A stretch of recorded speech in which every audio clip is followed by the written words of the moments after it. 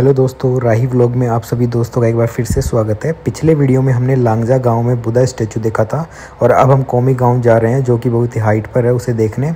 जैसे जैसे आगे बढ़ते जा रहे हैं, रास्ते और भी सुंदर और एडवेंचरफुल होते जा रहे हैं। काजा से कौमी गाँव की जो डिस्टेंस है उन्नीस किलोमीटर है, जहाँ पहुँचने में हमें चालीस मिनट से ज़्यादा का समय लगेगा और वहाँ से हम इक्किम जाएँगे, जहाँ पर हमें वर्ल्ड का सबसे ऊँचा पोस्ट ऑफ़िस है, जिसकी डिस्टेंस 16 किलोमीटर काजा से और कॉमिक से मात्र तीन किलोमीटर। तो दोस्तों, आगे बढ़ते हैं और देखते हैं हमारे सफ़र को।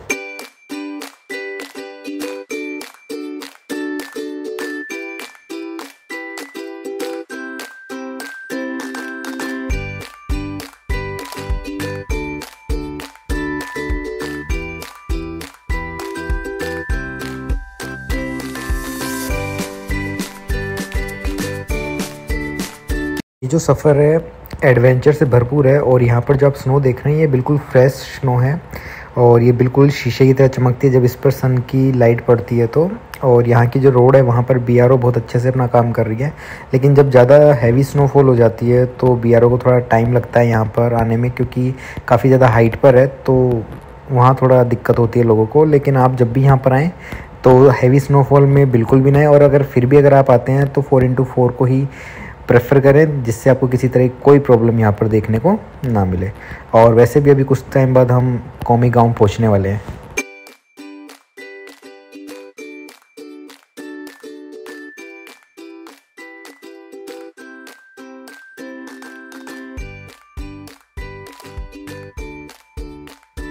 दोस्तों, हम कॉमिक गाँव पहुँच चुके हैं और कॉमिक गाँव का एक बार मैं आपको नज़ारा दिखाता हूँ। बहुत ब्यूटीफुल गाँव है। लेकिन मैं आपको एक चीज़ बता देता हूँ, ये वर्ल्ड का सबसे हाईएस्ट विलेज है। वर्ल्ड का ये आपको ध्यान रखना है। और एक चीज़ मैं आपको ये भी बता देता हूँ, ये मोटरेबल रोड से कनेक्टेड है। यानी एकमात्र ऐसा रोड है जो कि मोटरेबल यानी यहाँ पर ये गाड़ियों से कनेक्टेड है। ये आप इसको देख सकते हैं, इसका व्यूज़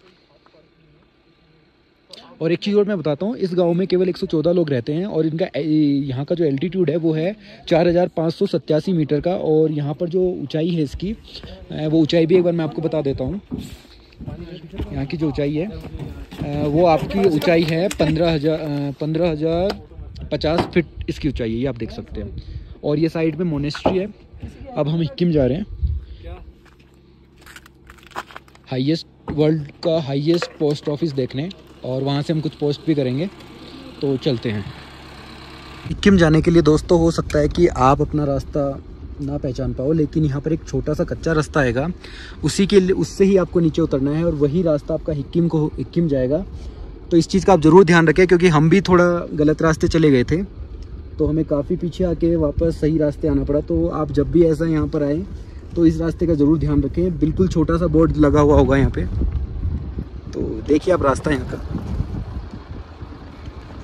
हम पहुँच चुके हैं विश्व के सबसे ऊँचे डाकघर पर यानी हाईएस्ट पोस्ट ऑफ़िस पे। और दोस्तों, देख सकते हैं आप कि ये जो लोग हैं यहाँ पर, ये पोस्ट कार्ड को अपने घर पर पोस्ट करेंगे। ये जैसा कह रहे हैं कि 14 से 15 दिन पे ये पोस्ट कार्ड है, ये आपके पते पर पहुँच जाएगा जहाँ भी आप भेजना चाहते हैं। तो हम भी देखते हैं भेज के। इतनी दूर आए हैं तो एक पोस्ट तो बनता ही है भेजने के लिए।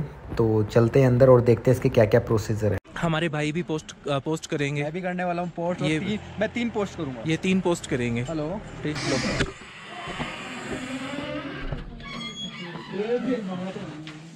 वहाँ पे इतनी सारी फ़ोटोज़ हैं। अच्छा नीचे अलग होगा? और इन्हीं इनको पोस्ट कार्ड बोलते हैं। इन्हीं पर एड्रेस डाल के और इनको पोस्ट करना पड़ता है तो आपके घर पे पहुंचेगी। मैंने ये पोस्ट कार्ड खरीदा है और मैं ये पोस्ट कार्ड अपने पते पे भेज रहा हूँ। मैं पता तो आपको नहीं दिखाऊँगा बट मैं दिखा देता हूँ मैंने इस पर क्या लिखा है।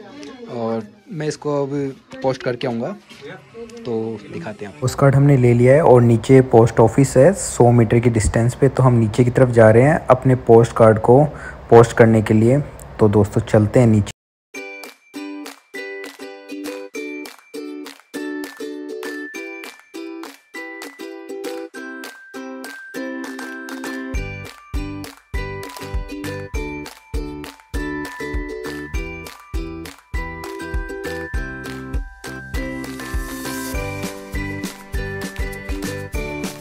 देख सकते हैं आप सामने, लेकिन हमें पोस्ट ऑफ़िस जाने के लिए राइट जाना पड़ेगा, क्योंकि राइट में ही उसका ऑफ़िस है। सामने जो है, ये ऑफ़िस नहीं था।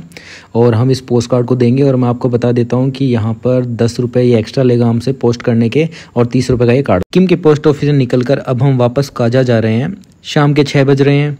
और हम रात होने से पहले पहले अपने होम स्टे में पहुँच जाएँ, क्योंकि जितना जल्दी होगा हम यहाँ से निकलेंगे, हमारे लिए बेनिफिट होगा, क्योंकि जैसे जैसे यहाँ पर रात होती जाएगी वैसे वैसे यहाँ पर ठंड बढ़ती जाएगी, और ठंड आपको पता है कि यहाँ पर जो ठंड है, बहुत ज़्यादा टेम्परेचर जो होता है माइनस में रहता है तो हमें यहाँ से जल्दी से निकलना है और अपने होम स्टे पहुँचना है। तो आज का जो हमारा डिनर था, वो हमने वांगचून होम स्टे में किया है, और आज का जो आप, मैं दिखा सकता हूँ आपको हमारा डिनर इसमें हमने पालक पनीर और चावल और दाल और अचार हमारे पास, जो कि बहुत ही बेस्ट टेस्ट के साथ है। हमने खाया यहाँ पे मतलब हमने कल भी खाया था, जबकि इतना अच्छा टेस्ट नहीं मिला हमें। आपको पता होगा, लेकिन आज जब हमने खाया तो हमें बहुत अच्छा टेस्ट मिला। और आप भी जब भी यहाँ आएँ तो बिल्कुल वांगचू होम स्टे में आएँ और यहाँ पर आकर रुकें। बहुत अच्छे होम स्टे है ये। मैं अभी आपको होम स्टे भी दिखाऊँगा, यहाँ का रूम दिखाऊँगा, कैसा रूम है। तो पहले मैं अपना डिनर कंप्लीट करता हूँ और उसके बाद मैं आपको अपना रूम भी दिखाऊँगा कि कैसा रूम है। गुड मॉर्निंग दोस्तों। आज हमारा नेक्स्ट डे स्टार्ट हो चुका है और आज हम जा रहे हैं रामपुर बुशहर और वहाँ जाके हम देखेंगे, वहाँ का मार्केट काफ़ी अच्छा मार्केट बताया है। देखते हैं आज वहाँ के मार्केट में क्या है। और यहाँ का टेम्परेचर आज माइनस पंद्रह डिग्री है। और एक दोस्तों, एक चीज़ मैं आपको दिखाता हूँ, यहाँ पर शायद कोई मैदान है जहाँ पर शायद स्केटिंग कर रहे हैं कुछ लोग। मैं आपको जूम करके दिखाता हूँ। जो ग्रीन रंग का है, वहाँ पे एक बार देखने की कोशिश करें। वहाँ पर स्केटिंग करते हैं। मतलब स्केटिंग के लिए ही बनाया गया है। और देख सकते हैं बर्फ़ की चादर चारों तरफ़। और ये हैं यहाँ के महाशय, जो देखो बालों से ढके हुए किसी भालू से कम नहीं है। और यहाँ पर ज़्यादातर जो एनर्जी का जो सोर्स है, वो सोलर पैनल से ही लाइट का जो सोर्स रहता है। रात को मैं आपको होम स्टे नहीं दिखा पाया था तो अभी मैं आपको एक बार अंदर से होम स्टे दिखा देता हूँ। ये है वो होम स्टे ये थोड़ा हमारा अस्त व्यस्त हो रखा है। बहुत अच्छा था। पीछे मैं आपको दिखा देता हूँ। और मैं थोड़ा आगे और दिखाता हूँ आपको हीटर भी मिलेगा इसमें। ये देखिए दोस्तों।